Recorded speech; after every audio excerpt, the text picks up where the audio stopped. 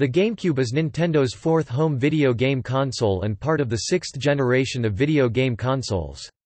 While the competing PlayStation 2 and Xbox consoles supported substantial amounts of online games, the GameCube only had eight games with Internet or Local Area Network support. Nintendo never commissioned any servers or Internet services to interface with the console, but allowed other publishers to do so and made them responsible for managing the online experiences for their games. Nintendo remained pensive with its online strategy for the duration of the GameCube's lifespan, defiant of growing interest from players and the success of Microsoft's Xbox Live Online service. Company leaders including Shigeru Miyamoto and Satoru Iwata based their stance on concerns with maintaining quality control over their games and doubts that players would want to pay subscription fees. Playing GameCube games over a network requires the official broadband or modem adapter since the console does not have out-of-the-box network capabilities. The only games released in Western territories that can be played over the Internet are three role-playing games RPGs in Sega's Phantasy Star series. Japan received an exclusive online RPG titled Homeland and a baseball game that cannot be played online but had access to downloadable content. Nintendo published three racing games limited to LAN support, 1080 Degrees Avalanche, Kirby Air Ride, and Mario Kart, Double Dash. Hobbyists later developed PC software that can tunnel the GameCube's local network traffic over the Internet, as well as private servers to continue hosting Phantasy Star games.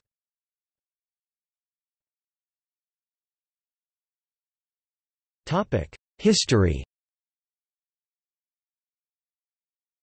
Before the GameCube, Nintendo had experimented with network connectivity with three accessories released exclusively in Japan for the Famicom, Super Famicom, and Nintendo 64.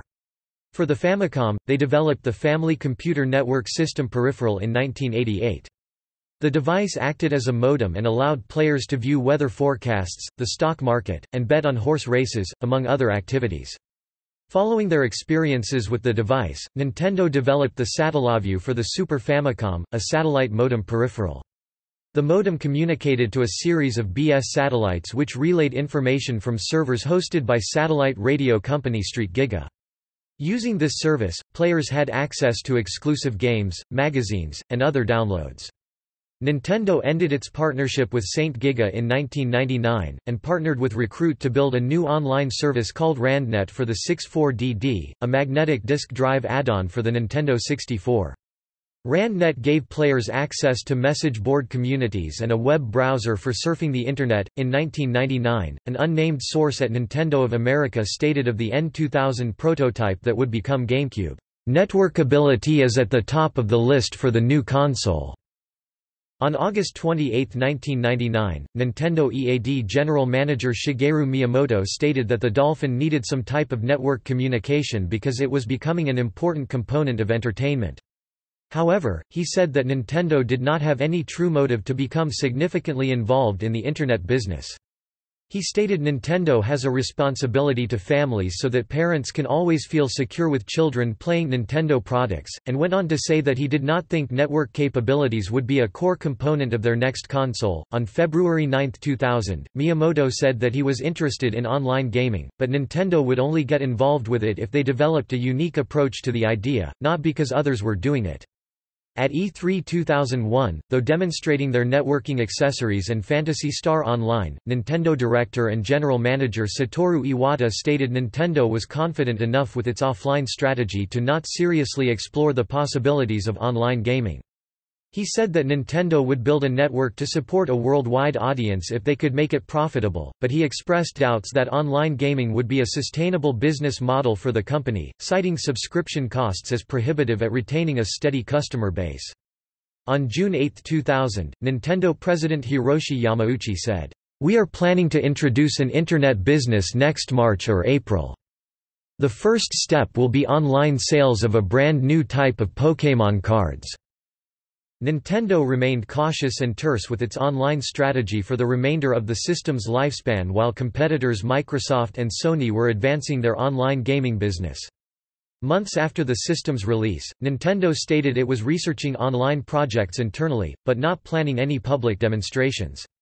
Miyamoto solidified his stance against online gaming around the same time, citing concerns that Nintendo would not be able to dictate the vision of their games nor guarantee their quality. In addition, he believed that players would not want to pay monthly fees. By February 2003, analysts were projecting GameCube sales to fall by 4% in the year while Xbox sales would rise by 12%. These predictions were driven by Xbox's defined online strategy with Xbox Live and Nintendo's unclear outlook.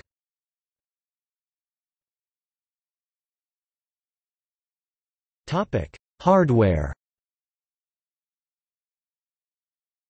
Nintendo released two networking accessories for the GameCube in October 2002 produced by Conexant, the broadband adapter a network adapter and the modem adapter a 56K dial-up modem. The adapters fit flush into serial port 1 on the underside of the GameCube. The broadband adapter is built for faster internet speeds and adds an Ethernet jack to the side of the console while the modem adapter adds a phone jack and operates through dial-up. Both adapters can be used for the Phantasy Star Online games and Powerful Pro, but the broadband adapter is required for LAN-only games and Homeland.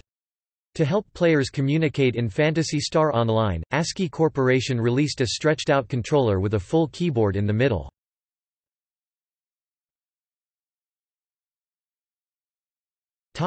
Supported games Nintendo did not develop any servers or Internet service to interface with GameCube consoles, and instead made publishers responsible for providing server interfaces and managing the online experience for their games.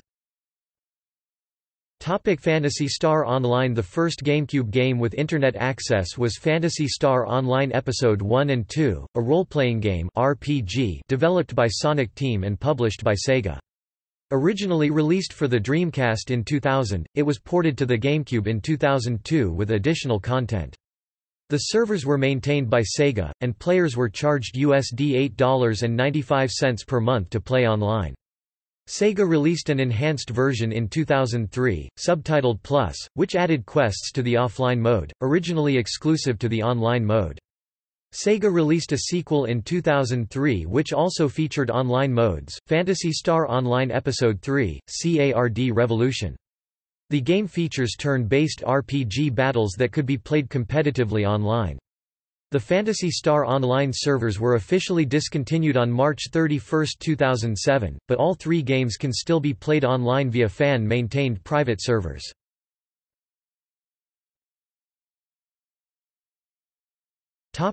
LAN games Nintendo published three racing games with LAN multiplayer modes, 1080 Degrees Avalanche, Kirby Air Ride, and Mario Kart, Double Dash. When playing over a LAN, multiple systems can be connected through a shared Ethernet hub or two systems can be connected directly to one another with a cross cable. 1080 Degrees Avalanche and Kirby Air Ride support up to four players across four consoles. If two consoles are used, up to two players can play on each system. If three or four consoles are used, only one player may play per system. For Mario Kart, up to 16 players can play simultaneously across eight consoles, with two players controlling each kart. When two consoles are used, up to four players can play per console, with each player controlling their own kart. If more than two consoles are used, only two players can play on each system cooperatively as two characters sharing one kart. Although the games do not support Internet gameplay natively, hobbyists develop third-party PC applications that tunnel the GameCube's network traffic across the Internet, such as Warp Pipe and X-Link Kai.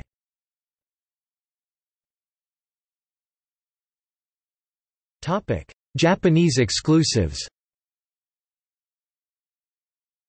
Japan received an exclusive online RPG in 2005 by Chunsoft titled Homeland.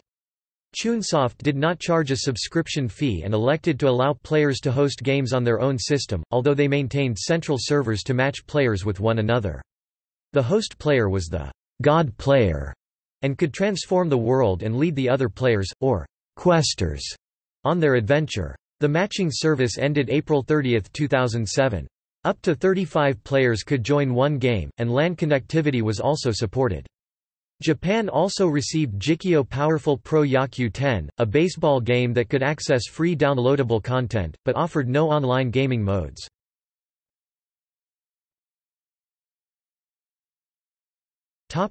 Abandoned projects Some developers planned networking modes for their GameCube games but these were never realized. Hironobu Sakaguchi commented in July 2001 that they were planning on taking their Final Fantasy series online and it would need to be on all platforms to be profitable, including the GameCube. In May 2001, Namco mentioned they were working on six online titles for all three sixth-generation consoles, including the GameCube. The GameCube version of Tom Clancy's Splinter Cell, Pandora Tomorrow had a planned online mode. The first Battlefield game, Battlefield 1942, was proposed by DICE as a GameCube exclusive to Nintendo. Though satisfied with the proposal, negotiations never made it further because Nintendo had no online strategy. LAN modes were planned for Mario Power Tennis and F-Zero GX, but these were later abandoned.